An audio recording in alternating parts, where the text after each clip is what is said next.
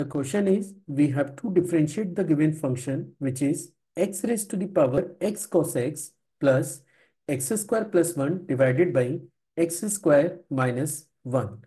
So let's see how we are going to solve the given problem. तो चलिए शुरू करते हैं तो फ़र्स्ट ऑफ़ ऑल तो मैं क्वेश्चन के डाटा को एक बार नोट कर लेता हूँ तो आप देख सकते हैं कि क्वेश्चन आपको दे रखा है y इज़ इक्वल टू मैंने इसको अभी y से रिप्रेजेंट कर दिया है y is equal to X raise to the power x cos x raised to the power x cos x plus x square plus 1 divided by X square minus one के ठीक है?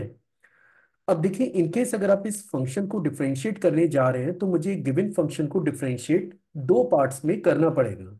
सबसे पहले हम लोग X raise to the power X cos X को differentiate करेंगे और फिर हम लोग डिफरेंशिएट करेंगे X square plus one over X square minus one को। तो चलिए मैं बता देता हूँ कि हम लोग क्या प्रोसेस यहाँ पे यूज़ करने जा रहे हैं।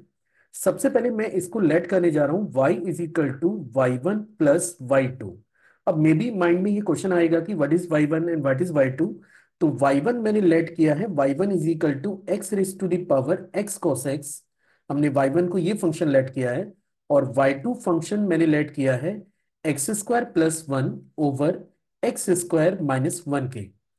अब जैसा कि आप जानते हैं कि क्वेश्चन में पूछा गया है कि आपको गिवन फ़ंक्शन को डिफ्रेंशिएट करना है तो इनकेस अगर आप इसे डिफ्रेंशिएट करने जा रहे हैं means if you are going to calculate D Y over D X तो ये बराबर होगा D Y one over D X plus D Y two over D X के। इसका सेंस क्या है? सबसे पहले आपको गिवन फ़ंक्शन को एक्स के रेस्पेक्ट में डिफ्रेंशिएट करना है, फिर y2 को आपको x के रेस्पेक्ट में डिफरेंशिएट करना है, और जैसे आप दोनों फ़ंक्शन को ऐड करेंगे तो you will get the value of dy over dx तो चलिए स्टार्ट करते हैं। तो सबसे पहले मेरे पास y1 है। y1 one is equal to X raise to the power x into cos of x अब यहाँ पे एक कॉन्सेप्ट है कि जब भी आप फ़ंक्शन की पावर फ़ंक्शन के फॉर्मेट को डिफ्रेंशिएट करना शुरू करते हैं, इसके लिए जो पहला स्टेप है वो ये है कि आपको बोथ साइड का लॉग लेना पड़ेगा। क्योंकि यही सबसे बेटर ऑप्शन है इस टाइप के फॉर्मेट को डिफ्रेंशिएट करने के लिए। आप चाहें तो इस कॉन्सेप्ट को याद भी रख सकते हैं कि जब भी आपको फ़ंक्शन की पावर फ़ंक्शन का कोई फॉर्मेट मिलता है और इनकेस अगर आप उसे डिफ्रेंशिएट कर रहे हैं तो इसके लिए आपको सबसे पहले लॉग ही लेना है। तो इनकेस अगर मैं इस एक्सप्रेशन का बोथ साइड लॉग लेता हूँ तो लेफ़्ट साइड में आपको मिलेगा लॉग वाई वन और राइट साइड वाले एक्सप्रेशन को आप लिख सकते हैं log X raise to the power X cos X के। ठीक है? अब हमारे पास लॉगरिथम की एक प्रॉपर्टी है, जो मैं अभी यहाँ पे नोट करने जा रहा हूँ which is log A raise to the power M base B ये बराबर होता है M times of log A base B के। मतलब ये जो पावर वाला डाटा है, ये आपका आ जाता है प्रोडक्ट में। तो चलिए इसको अप्लाई कर देते हैं। तो आप देख सकते हैं कि ये आपको मिलेगा log Y one log Y one this is your X cos X X cos X ये जो पावर था मैं उसे प्रोडक्ट में ले आया हूँ, और अगला फ़ंक्शन आपके पास है लॉग ऑफ़ एक्स के। ठीक है, अब यहाँ पे आप देख सकते हैं कि राइट साइड में बेसिकली आपके पास दो फ़ंक्शन है। आप x इंटू कॉस एक्स को एक ही फ़ंक्शन लेट कर सकते हैं, क्योंकि जब भी डिफ्रेंशिएट करना होगा, मैं दोनों को एक साथ ही कंसिडर करूँगा। और दूसरा फ़ंक्शन आप कंसिडर कर सकते हैं लॉग एक्स तो क्वेश्चन में मुझे कैलकुलेट करना है D Y one over D X और इसके लिए मुझे गिवन एक्सप्रेशन को बोथ साइड डिफ्रेंशिएट करना पड़ेगा। तो चलिए शुरू करते हैं। एक और चीज़ यहाँ पे आपको नोट करनी चाहिए कि राइट हैंड साइड में जो फ़ंक्शन है, वो जो मौजूद है वो बेसिकली दो फ़ंक्शन का प्रोडक्ट है। और जब भी आपके पास दो फ़ंक्शन का प्रोडक्ट मौजूद होता है और उस फॉर्मेट को अगर आप डिफ्रेंशिएट करने जा रहे हैं तो इसका डेरिवेटिव आपको मिलेगा D Y over D X आपको मिलेगा U V dash plus V into U dash की। इसका मीनिंग क्या है? सबसे पहले U and V are the function of X अगर आपके पास दो फ़ंक्शन जो कि एक्स पे डिपेंड करते हैं और उनके प्रोडक्ट को अगर आप डिफ्रेंशिएट कर रहे हैं तो इसका डेरिवेटिव होता है, पहला वाला फ़ंक्शन एस सच दूसरे का डेरिवेटिव प्लस सेकेंड वाला फ़ंक्शन एस सच और फ़र्स्ट का डेरिवेटिव मैं एक्सपेक्ट करूँ कि ये चीज़ आपने पढ़ी होगी। चलिए आप डिफ्रेंशिएट करना चालू करते हैं। तो लेफ़्ट साइड वाले फ़ंक्शन को जब आप डिफ्रेंशिएट करेंगे मतलब लॉग वाई वन को जब आप डिफ्रेंशिएट करेंगे, ये आपको मिलेगा one upon Y one into D Y one over D X के। मैंने यहाँ पे चेन रूल के कॉन्सेप्ट को यूज़ किया हुआ है और मैं चलिए इस पे भी एक हल्का सा आइडिया आपको दे देता हूँ। मान के चलिए आपके पास एक फ़ंक्शन है y is equal to log of F X है ना? ये आपके पास कोई एक फ़ंक्शन है। और अगर आप इसे डिफ्रेंशिएट करना चालू करते हैं तो इसका डी वाई डी एक्स होगा। सबसे पहले तो आपको लॉग एफ़ एक्स को डिफ्रेंशिएट करना पड़ेगा। तो लॉग एफ़ एक्स का डेरिवेटिव बनेगा वन अपॉन एफ़ एक्स और इसके बाद फिर आपको डिफ्रेंशिएट करना पड़ता है एफ़ एक्स को, जो कि बनेगा F dash X for example अगर फ़ंक्शन है Y is equal to let log log sine X ये फ़ंक्शन आपके पास है। तो आप अगर इसे डिफ्रेंशिएट कर रहे हैं तो सबसे पहले लॉग साइन एक्स को करेंगे which is one upon sine X और फिर साइन एक्स को भी डिफ्रेंशिएट करना पड़ेगा विच इज़ कॉस एक्स तो फाइनली इसका डेरिवेटिव बनेगा कॉट ऑफ़ एक्स के. सेम कॉन्सेप्ट में यहाँ भी अप्लाई करने जा रहा हूँ। आप देख सकते हैं कि आपके पास लॉग वाई वन था, और इसको अगर मैं डिफ्रेंशिएट करूँगा तो पहले मैंने वन अपॉन वाई वन लिखा, और फिर वाई वन को डिफ्रेंशिएट करेंगे तो वो आएगा D Y one over D X के. राइट हैंड में जो डाटा है, इस पे अगर हम लोग काम करें तो मुझे डिफ्रेंशिएट करना है X cos X into log X को। तो आप देख सकते हैं कि पहला वाला function as such which is X cos X फिर लॉग एक्स को डिफ्रेंशिएट करना है, इसका डायरेक्टिव वन अपॉन एक्स होता है। इसके बाद लॉग एक्स एस सच आएगा लॉग एक्स एस सच आएगा, और फिर आपको डिफ्रेंशिएट करना है D by D X of X cos X को। ठीक है? तो इसको हम लोग अगले स्टेप में कंप्लीट कर लेंगे। तो आप देख सकते हैं कि you are getting one upon Y one one upon Y one one over D X this is equal to, this is equal to, that is x cos x x cos x divided by x plus log x log x, और यहाँ पे x into cos x को भी आपको product rule से differentiate करना है। तो पहला वाला function as such X cos X को डिफ्रेंशिएट करेंगे तो माइनस ऑफ़ साइन एक्स आपको मिलेगा। फिर कॉस एक्स एस एच और एक्स का डेरिवेटिव हमारे पास वन होगा। ठीक है? तो यहाँ से D Y one over D X की अगर अपन बात करें तो ये बनता है वाई वन। अब आप देख सकते हैं कि सबसे पहले तो ये एक्स से एक्स आपका कैंसिल हो रहा है। तो आफ्टर कैंसिलेशन यहाँ पे आपको मिलेगा कॉस एक्स।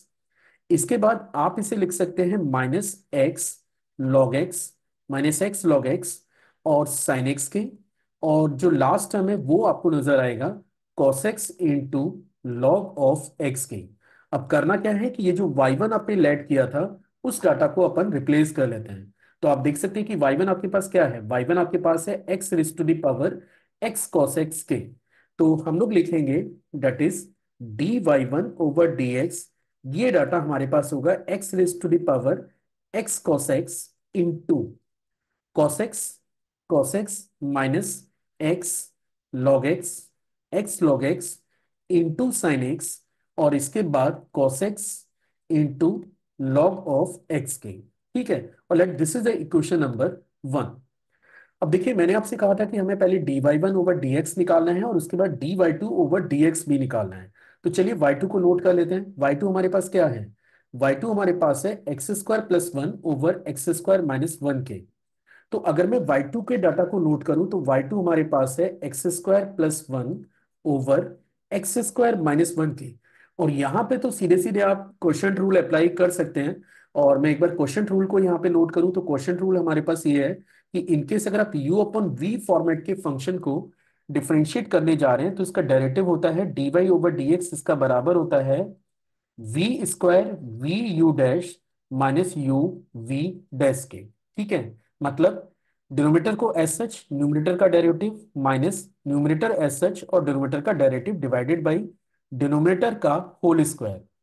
तो अगर मैं यहाँ से d y two over d x निकालता हूँ तो ये मुझे मिलेगा that is x squared minus one का होल स्क्वायर इसके बाद एक्स स्क्वायर माइनस वन को आपको एस एच रखना है। फिर आप एक्स स्क्वायर प्लस वन को डिफ्रेंशिएट करेंगे तो इसका डायरेक्टिव आपको मिलेगा two x minus x squared plus one और एक्स स्क्वायर माइनस वन को डिफ्रेंशिएट करेंगे तो उसका डायरेक्टिव फिर से आपको टू एक्स मिलने जा रहा है। तो यहाँ से अगर आप d y two over d x पे कमेंट करें तो आप देख सकते हैं कि टू एक्स तो आपका कॉमन आ रहा है। ऊपर आप चेक कर सकते हैं x squared minus one minus x squared minus one और divided by x squared minus one raise to the power two x squared से एक्स स्क्वायर कट गया और इसको अगर मैं फर्दर सिंप्लीफाई करता हूँ तो d y two over d x मुझे मिल रहा है माइनस के four x divided by x squared minus one total raise to the power two and let this is the equation number two अब बस इतना करना है कि जो d y one over d x का डाटा है और जो d y two over d x का डाटा है, ये दोनों डाटा आपको फ़ीड करना है उस इक्वेशन में। इक्वेशन आपके पास थी d y over d x which is equal to d y one over d x plus d y two over d x के। तो यहाँ पे आप देख सकते हैं कि d y over d x ये बराबर होगा। सबसे पहले d y one over d x के डाटा को नोट करें तो आप यहाँ पे चेक कर सकते हैं ये डाटा ये है x raise to the x cos x into bracket, which is cos x minus cos x minus x log x sin x x log x sin x, और इसके बाद plus cos x log x plus cos x log x और ये हमारे पास आ गया d y one over d x और अब मुझे नोट करना है d y two over d x जो कि जस्ट ऊपर लिखा हुआ है। इसे आप लिखेंगे माइनस के four x divided by x squared minus one का पावर टू। तो फाइनली अगर मैं d y over d x पे कमेंट करूँ तो डीवाई ओवर डी एक्स हमें मिल रहा है that is x raise to the power x cos x into cos x minus x log x sine x plus cos x into log x cos x into log x minus 4x over x square minus 1 total raised to the power 2 and this is the answer for the given problem जो function आपको दिया था उसका derivative ये expression आपको मिलेगा